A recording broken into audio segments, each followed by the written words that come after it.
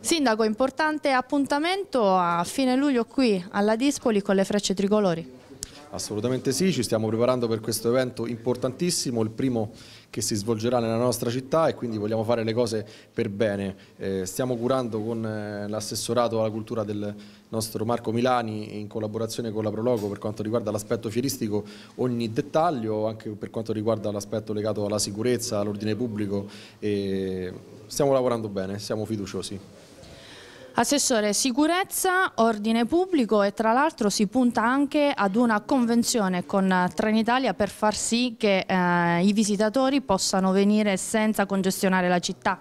Sì, stiamo lavorando per poter offrire un, dei mezzi di trasporto alternativi alla macchina e pullman, quindi sì, abbiamo stretto un accordo con Trenitalia è già pronto il piano sanitario, stiamo lavorando su quello della sicurezza perché dovrà essere un evento meraviglioso, grandioso, ma il tutto fatto nel, nella massima sicurezza e tranquillità. Ecco, non soltanto spettacolo aereo, ma anche degli spettacoli a terra.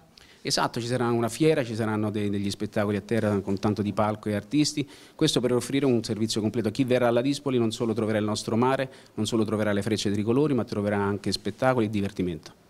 Diciamo che la Sagra del Carciofo è stata un po' uh, la prova del 9 per organizzare questo evento anche per la Proloco.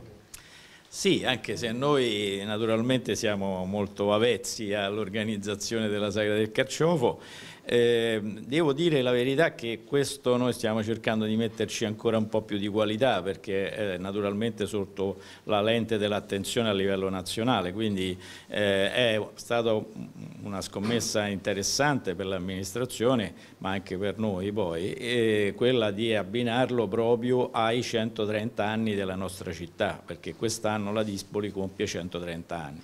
E quindi è importante, è una bella sfida anche perché la prima volta, non, insomma le prime volte hanno sempre aspetti piacevoli e non piacevoli qualche volta. E noi cerchiamo di eh, escludere quelli spiacevoli in modo che sia un divertimento, come hanno detto già eh, l'assessore e il sindaco, eh, per tutti, a tutti i livelli e che sia un pizzico di attenzione in più questa volta e soprattutto sia una scommessa di tutta la città che che provi a fare una grande figura a livello nazionale eh, perché abbiamo bisogno di rilanciarci a livello di immagine, a livello di meta turistica, a livello di centro culturale vicino a Roma.